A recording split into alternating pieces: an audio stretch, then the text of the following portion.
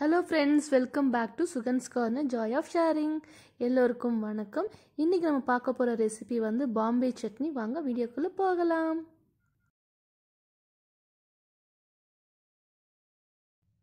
Friends இன்றைக்கி நம்ம செய்ய போகிறது பாம்பே சட்னி பண்ண போகிறோம் ஸோ அதுக்கு தேவையான பொருட்கள் என்னென்னு பார்த்தீங்க. நான் வந்து கடலை மாவு எடுத்து வச்சுருக்கேன். பேசன் ஃப்ளார் இது வந்து மூணு ஸ்பூன் இல்லை நாலு ஸ்பூன் கிட்ட ஆட் பண்ணிக்கலாம். நமக்கு குவான்டிட்டிக்கு ஏற்ற மாதிரி நம்ம வந்து ஆட் பண்ணிக்கலாம். அப்புறமா வந்து ஒரு பெரிய வெங்காயம் நறுக்கி வச்சுருக்கேன். ரெண்டு தக்காளி மீடியம் சைஸ் தக்காளி நறுக்கி வச்சுருக்கேன். அதுக்கப்புறமா வந்து கருவேப்பிலை பச்சை மிளகாய் அதுக்கப்புறமா வந்து கொத்தமல்லி. இது வந்து வெந்தயம். வெந்தயம் வந்து கால் டீஸ்பூனுக்கும் கம்மியானதாக எடுத்திருக்கேன். அப்புறமா வந்து அரை டீஸ்பூன் வந்து சீரகம் எடுத்திருக்கேன். அதுக்கப்புறம் பெருங்காய பெருங்காயத்தூள் தேவையான அளவுக்கு உப்பும் எண்ணெயும் ஆட் பண்ணிக்க போகிறோம் ஸோ ஃபஸ்ட் நம்ம என்ன பண்ண போகிறோம் பார்த்திங்கன்னா நம்ம வந்து கடலை மாவு வந்து கொஞ்சம் லைட்டாக வந்து வறுத்து எடுத்துக்கலாம். எண்ணெயே ஊற்றாமல் லைட்டாக வந்து வறுத்து எடுத்துக்கலாம்.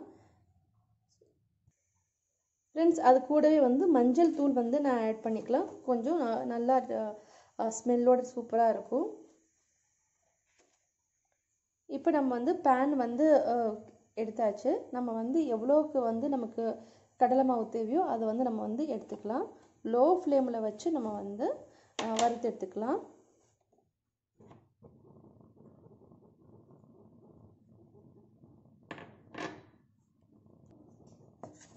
வந்து நல்லா வந்து கட்டி இல்லாமல் வந்து நம்ம லைட்டாக வந்து வறுத்து எடுத்துக்கலாம். உங்களுக்கு அந்த கடலை மாவு ஃப்ளேவர் வந்து உங்களுக்கு வந்து வரும். அந்த அரோமா வந்தோடனே நம்ம வந்து ஆஃப் பண்ணிடலாம்.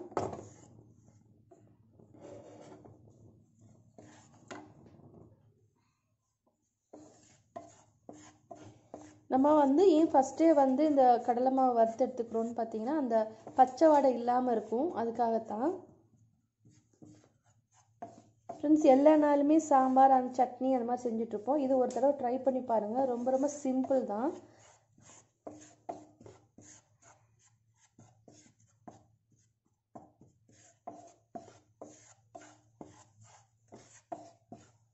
இது வந்து இட்லி தோசைக்கு சூப்பராக இருக்கும். அதே மாதிரி பூரிக்கும் நல்லா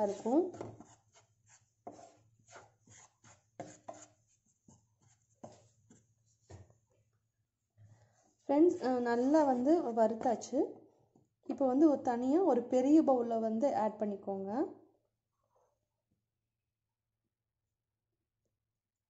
ஃப்ரெண்ட்ஸ் நம்ம வந்து வறுத்து வச்ச பேசன் இங்கே இருக்க கடலை மாவு. இதில் வந்து நம்ம வந்து நல்லா வந்து தண்ணியாக நம்ம வந்து கரைச்சிக்க போகிறோம் ஸோ நான் வந்து அதுக்கு தேவையான அளவுக்கு தண்ணி ஆட் பண்ணுறேன் கொஞ்சம் கொஞ்சமாக வந்து கரைச்சிக்கோங்க.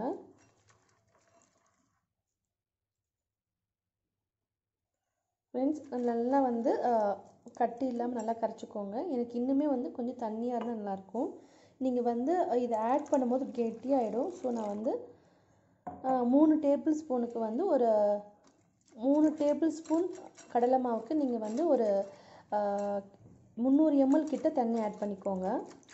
ரொம்ப தண்ணியாக இருந்தால் தான் அது வந்து நல்லாயிருக்கும் ஸோ நம்ம வந்து இதை கரைச்சி வச்சாச்சு. இது கடைசியாக தான் நம்ம ஆட் பண்ண போகிறோம் அதுக்குள்ளேயும் வந்து நம்ம வந்து தாளிச்சிடலாம். ஃப்ரெண்ட்ஸ் அதே பேன் எடுத்திருக்கேன். அதில் வந்து நான் வந்து கொஞ்சமாக வந்து ஆயில் ஆட் பண்ணிக்கிறேன்.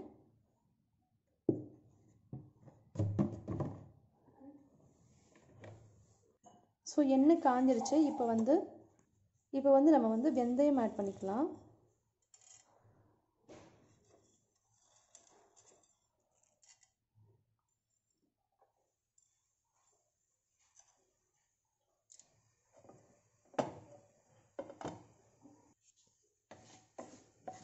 வந்து வெந்தயம் பொரிஞ்சிருச்சு. இப்போ வந்து சீரகம் ஆட் பண்ணிக்கலாம்.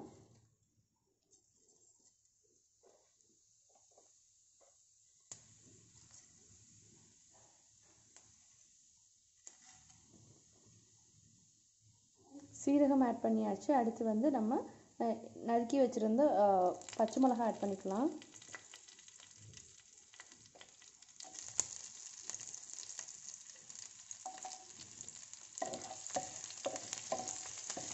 அடுத்ததாக வந்து வெங்காயம் ஆட் பண்ணிக்கலாம்.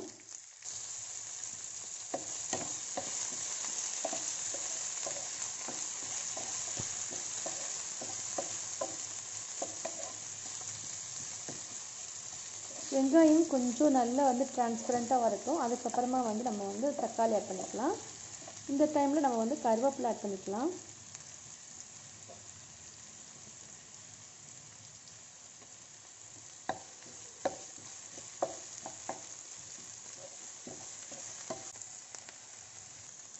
ஃப்ரெண்ட்ஸ் இந்த டைமில் நம்ம வந்து பெருங்காயம் பொடி ஆட் பண்ணிக்கலாம்.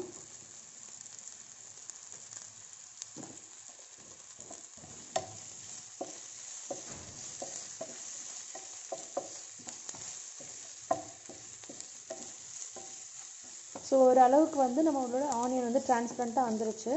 இப்போ வந்து தக்காளி ஆட் பண்ணிக்கலாம்.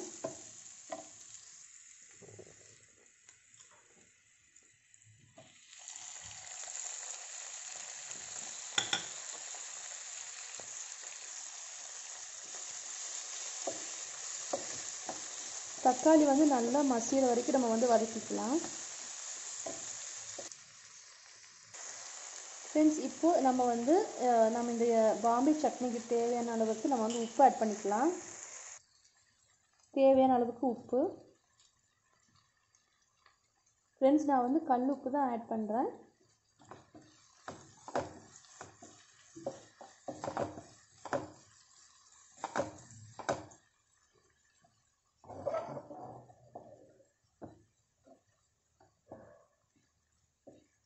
ஸோ இப்போது நம்ம வந்து லைட்டாக இன்னும் கொஞ்சம் மசியணும். இந்த டைமில் நம்ம வந்து கொஞ்சமாக வந்து டர்மரிக் பவுடர் ஆட் பண்ணிக்கலாம். மஞ்சள் தூள் ஆட் பண்ணிக்கலாம். மஞ்சள் தூள் ஒரு அரை டீஸ்பூன் கிட்ட ஆட் பண்ணிக்கோங்க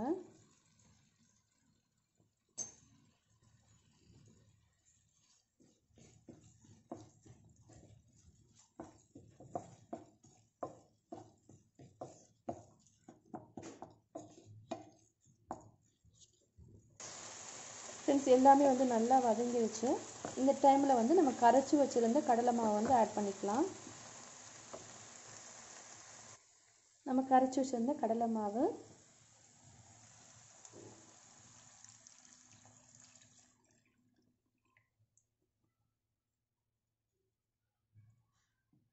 நல்லா வந்து மிக்ஸ் பண்ணி விடுங்க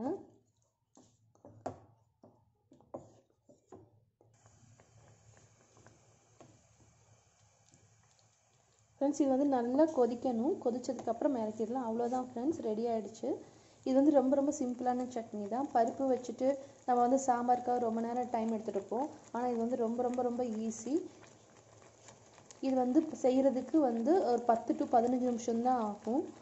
ரொம்ப சிம்பிளான டிஷ் இது. ரொம்ப டேஸ்ட்டாகவும் இருக்கும். இப்போ உங்களுக்கு இது வந்து கெட்டி ஆகிட்டே இருக்கும். உங்களுக்கு எவ்வளோ தண்ணி வேணுமோ அந்த சட்னி என்ன கன்சிஸ்டன்சி வேணுமோ அதுக்கு ஏற்ற மாதிரி நீங்கள் வந்து தண்ணி ஆட் பண்ணிக்கோங்க.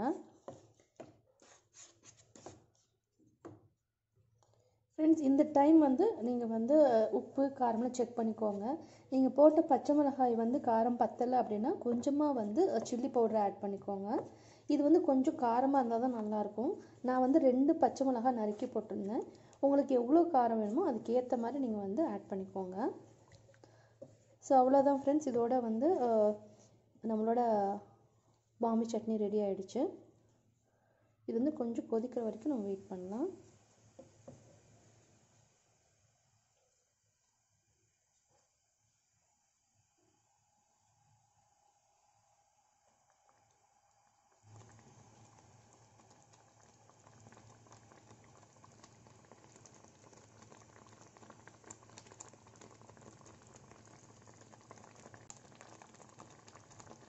ஸோ நல்லா கொதிச்சிருச்சு. இப்போ வந்து நம்ம கொரியாண்டர் போட்டு கொத்தமல்லி தூவிட்டு இறக்கிடலாம்.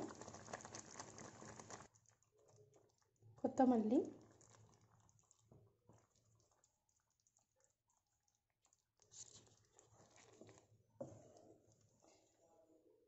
இது வந்து நீங்கள் வந்து பஜ்ஜி கூட நீங்கள் வச்சு சாப்பிட்லாம். வாழைக்காய் பஜ்ஜி அந்த மாதிரி கூட செம்ம டேஸ்ட்டாக இருக்கும். நிறைய கடைகளில் வந்து நார்த் இந்தியன் கடையில் வந்து பஜ்ஜிக்கு இதுதான் வந்து ஊற்றி தருவாங்க. ஸோ ரெடி ஆயிடுச்சு ஃப்ரெண்ட்ஸ் ஃப்ரெண்ட்ஸ் நம்மளோட பாம்பே சட்னி சூப்பராக ரெடி ஆகிடுச்சு ட்ரை பண்ணி பாருங்கள் ரொம்ப ரொம்ப சிம்பிளான டிஷ் தான். இந்த வீடியோ உங்களுக்கு பிடிச்சிருந்துச்சுன்னா லைக் பண்ணுங்கள் ஷேர் பண்ணுங்கள் மறக்காமல் சப்ஸ்கிரைப் பண்ணுங்கள் கூடவே இருக்கிற பெல் ஐக்கானையும் கிளிக் பண்ணி விடுங்க தேங்க்யூ ஃபார் வாட்சிங் this video friends will catch you another video till then bye bye